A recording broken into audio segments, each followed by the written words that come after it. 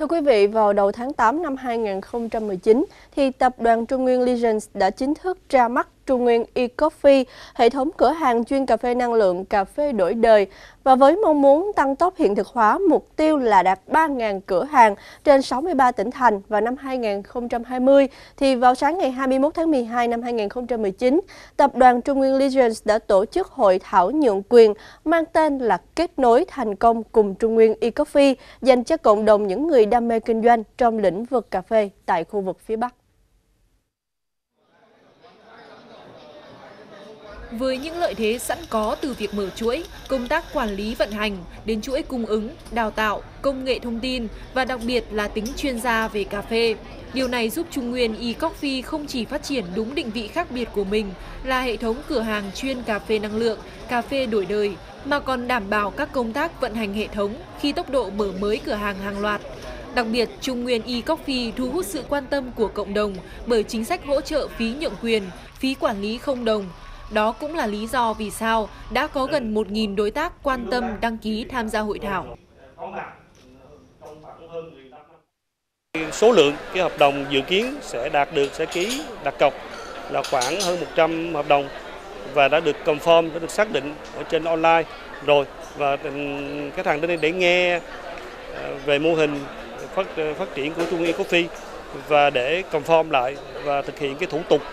là chuyển tiền à, và và và thực hiện cái bước tiếp theo cho cái việc xúc tiến mở một cái nhượng quyền. Cùng với đó, mức chi phí đầu tư chỉ từ 65 đến 175 triệu đồng với diện tích mặt bằng cần thiết từ 4 mét vuông trở lên. Trung Nguyên e-Coffee thích hợp cho mọi đối tượng. Mô hình này cũng sở hữu nhiều loại hình hợp tác được thiết kế tối ưu hóa cho mọi địa điểm, cao ốc văn phòng, nhà hàng, khách sạn, trạm metro, sân bay, bến xe, chợ, các cửa hàng tiện lợi, trường học, bệnh viện, trạm dừng chân. Chúng tôi có cái nghiên cứu phân tích các cái mô hình nhân quyền hiện ở tại Việt Nam những hạn chế và những cái ưu điểm để phát triển cái mô hình trung y coffee này. Trong đó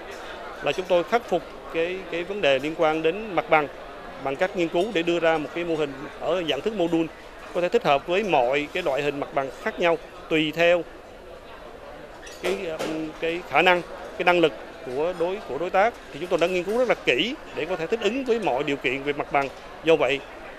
khả năng là khắc phục được cái cái yêu cầu cao về diện tích cũng như về về vị trí. Ngay từ khi lên cái đây tôi đã, đã tin tưởng ở cái về cái mô hình này rồi cái gói ờ, xả gói mà tôi ký hợp đồng là 120 triệu. Tôi nghĩ là cái mô hình rất thành công. Rất đặc biệt là cái thị trường hạ long của tôi. Bởi khi cái, cái khu vực tôi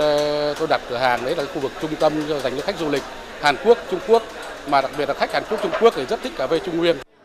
Hơn nữa, những cuốn sách quý trong tủ sách nền tảng đổi đời được nhà sáng lập, Chủ tịch Tập đoàn Trung Nguyên Lê Truyền Đặng Lê Nguyên Vũ tâm huyết tuyển chọn sẽ được giới thiệu tại Trung Nguyên e-Coffee để bất kỳ ai đều có thể khám phá nguồn tri thức toàn diện trên con đường đi đến thành công.